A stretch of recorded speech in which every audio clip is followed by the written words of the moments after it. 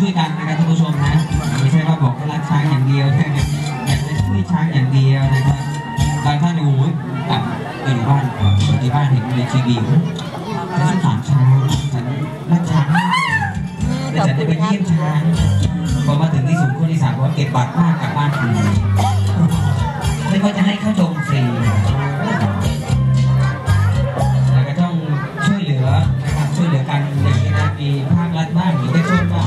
ที่ว่